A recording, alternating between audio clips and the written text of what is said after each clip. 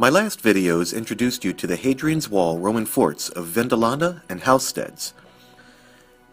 So what next? Now that these reconstructions are built, what good are they? What can they do? Well, the first is obvious. Game them.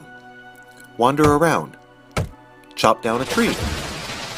Or, if you're in the mood, destroy them. What would it look like to bring a fort down? How bad can bad get? But a reconstruction can be a lot more than just fun. It can be a tool, something that lets you take the last faint stones you see in the ground and flesh them back out into a living world again. And while you're rebuilding it, a funny thing happens. You start to see this fort, this town, from new angles. Ruins in the ground are evocative in their own way, but they can't reveal that sense of space you get with a rebuilt world. It's only once you restore walls and roofs, market stalls and benches and bollards, that you realize how narrow a street is, or how a person could live right next to a major fort and yet maybe barely catch a glimpse of it in their day-to-day life. Rebuilding archaeology lets you see how light and shadow play on the town as morning turns to noon and to night. By putting flesh back onto cold stones, you can see the different pieces that go into a living town. What it might mean when a report says, this is an industrial zone, or this is a temple zone. But that's where it can get dicey, too. Archaeology can tell us a lot, especially if we're willing to get down into the weeds and pry out tiny pieces of information. But archaeology can never hope to repaint an exact picture. When all that's left is this, there's just too much we don't know. That's another reason I love building these forts, because once the main one's built, you can play with it, you can change things and see the effect it has. The temple, out in the far west of Vindolanda, was built in the 2nd century. By the time of my build, the early 3rd century, it's possible that it had fallen into ruin. Not certain, but possible.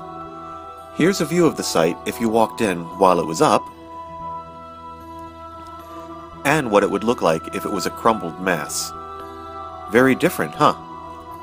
It's not just the fringes you can play with either.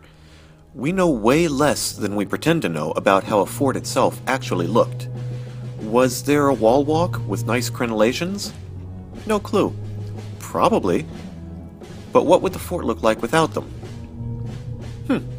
Still works, if maybe a bit less impressive. What about the gate towers? Reconstructions and artist renditions up and down Hadrian's Wall have all kinds of setups. This complete actual live rebuild at South Shields shows pitched roofs with gable ends.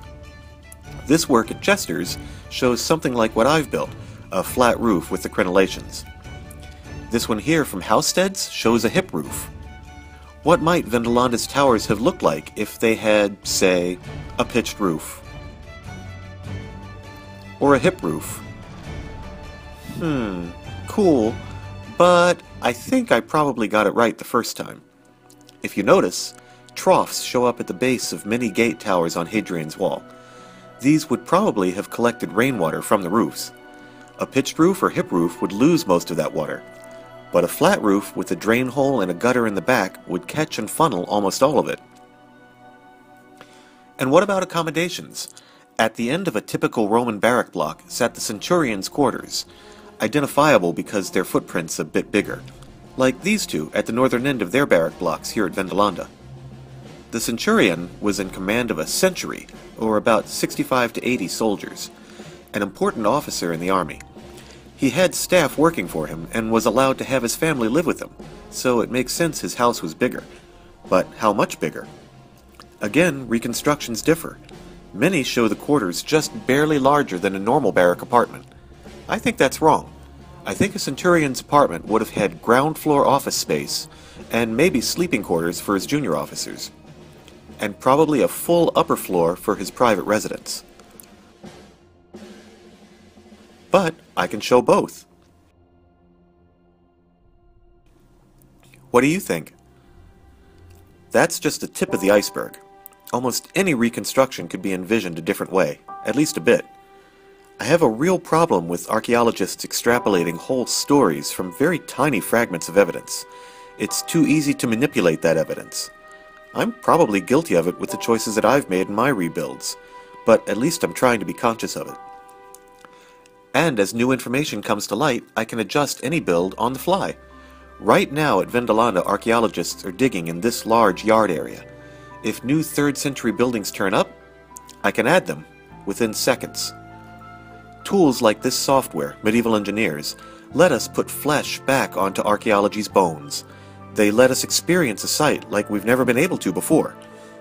They can be fun, or a teaching tool, or in the wrong hands, a tool for misleading and masquerading.